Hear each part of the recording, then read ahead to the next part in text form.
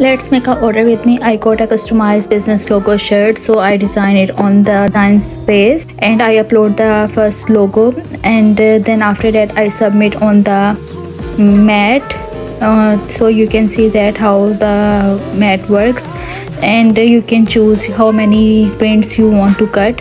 So i try to did three because uh, I have two shirts and one I will give as a sample free gift. You can give your customer so then I print it and I submit the design on the Cricut Explore 3 and it cuts the design and after that I peel off the vinyl and after that I cut the I cut the design and I weed the pattern as you can see that uh, it's easy to weed the area. You just uh, first open up little bit area and uh, then uh, the rest of the area uh, you can easily peel off. And this is the logo design.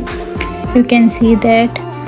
After weed uh, this is the some small parts. I weed it out and then after that this is the hoodie and this is 50% cotton and 50% polyester. So first I measure the uh, shirt where I need to put the logo. It's in the left side. Uh, customer want in the shoulder part.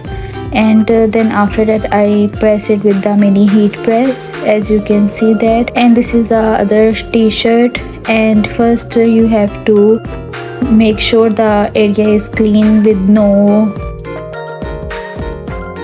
thing and then I place the logo and uh, the same thing I did it. I press it with the mini heat and uh, after some time I just uh, remove the peel and it's a cold peel and this is the back. Then after that uh, at the inside I applied my business logo and I designed this on my um, Procreate app and uh, you can apply your t-shirt and give the t-shirt a customized look.